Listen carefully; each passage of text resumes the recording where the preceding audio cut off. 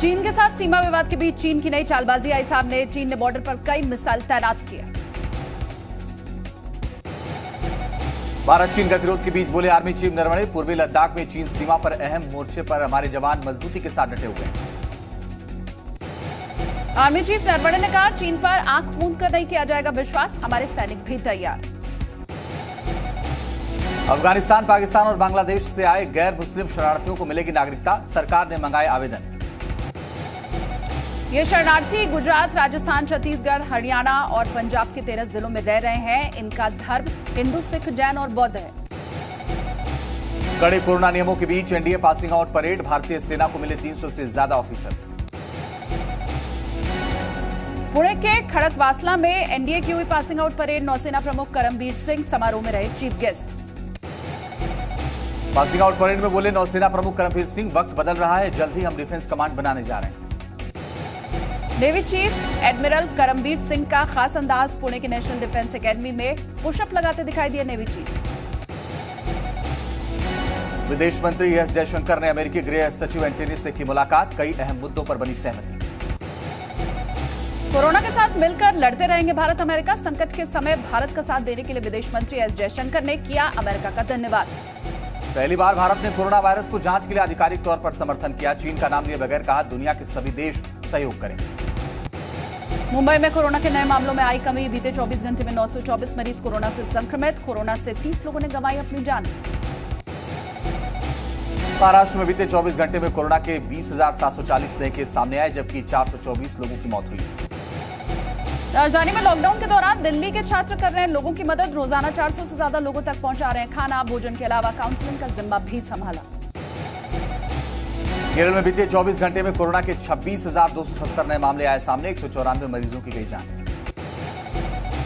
WHO ने फिर थपथपाई। योगी सरकार की पीठ प्रदेश में तंबाकू के प्रयोग को कम करने और रोकने के लिए बेहतरीन काम मिला। इस साल का no tobacco day award.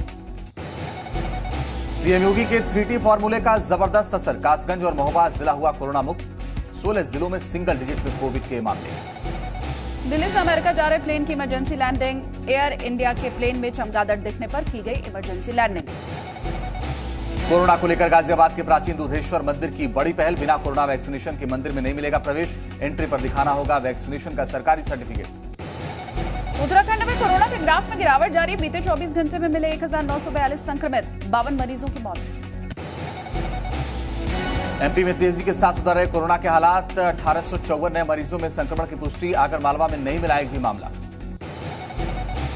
Corona से जंग में मैदान में डटे सीएम शिवराज सिंह चौहान। भोपाल में अचानक पहुँचे बेल कोविड कमांड सेंटर। अधिकारियों से संक्रमण के नियंत्रण पर चर्चा की।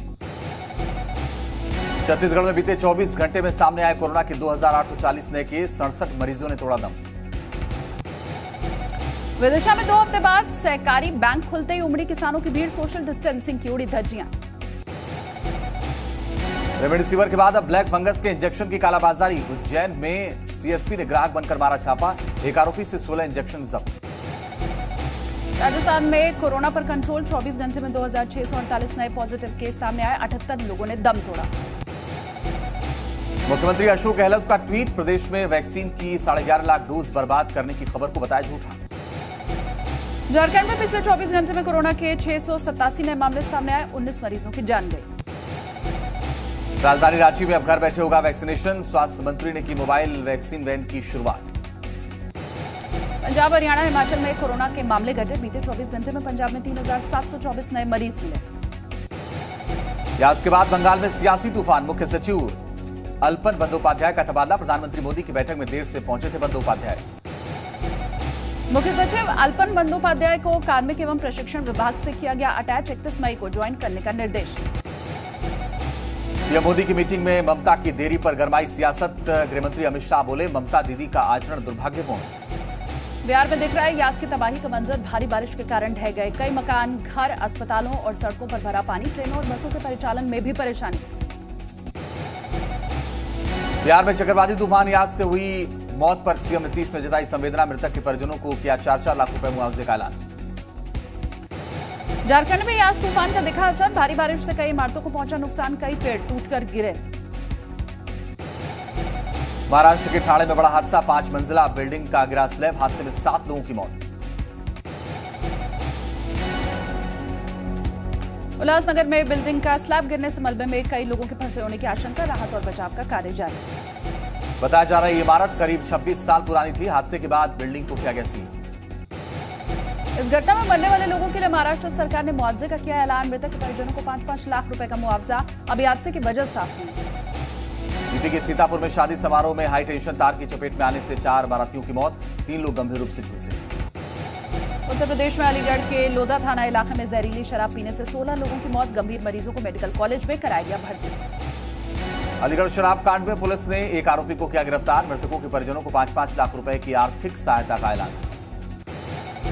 मध्य प्रदेश में ओपन बुक पैटर्न पर होगी यूजी पीजी की परीक्षाएँ। उच्च शिक्षा मंत्री मोहन यादव को अ, का ऐलान। छात्रों को ऑनलाइन भेजे जाएँगे प्रश्न पत्र उत्तराखंड के नैनीताल और पिथौरागढ़ में अगले 12 घंटे में भारी बारिश की चेतावनी येलो अलर्ट जारी। पाकिस्तान के हिंदू सांसद ने निचले सदन में पेश किया विधेयक। धार्मिक अल्पसंख्यकों को मिले गैर मुस्लिम के तौर पर पहचान समानता और इंसाफ मिलना सुनिश्चित किया जाए। आज बीसीसीआई की अहम बैठक आईपीएल 14 के भविष्य पर हो सकता है फैसला। अनुभव सिन्हा ने उड़ाया सुशांत सिंह राजपूत का मज़ाक नाराज़ हुए फैंस बोले तुम्हारी बारी भी आएगी। अमिताभ बच्चन ने मुंबई के अंधेरी में खरीदा आलिशान अपार्टमेंट पाँच हज़ार एक सौ चौरासी वर्ग फुट के अपार्टमेंट की कीमत इकतीस करोड़ रुपए।